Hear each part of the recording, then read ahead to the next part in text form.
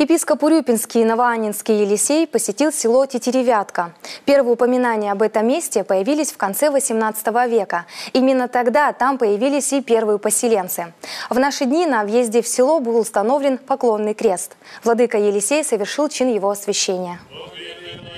Обычай устанавливать поклонные кресты на русской земле берет начало в глубокой древности.